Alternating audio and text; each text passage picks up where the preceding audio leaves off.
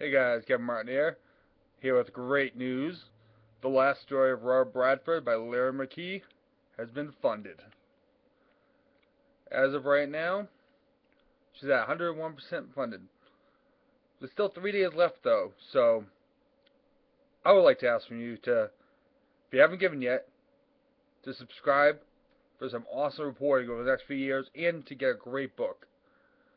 So even though she's achieved her goal, her job will be a hell of a lot easier if she is able to get more funding. Because trust me, it's not going to be easy.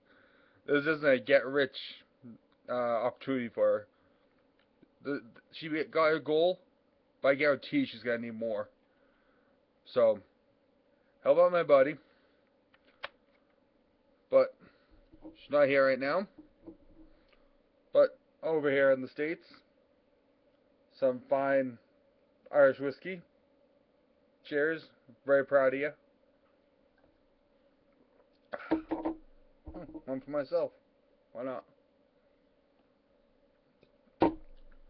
Congratulations. It's going to be an awesome year. I look forward to everything you dig up. We've done our part to get you to this point. Now it's all on you. Very proud. Godspeed.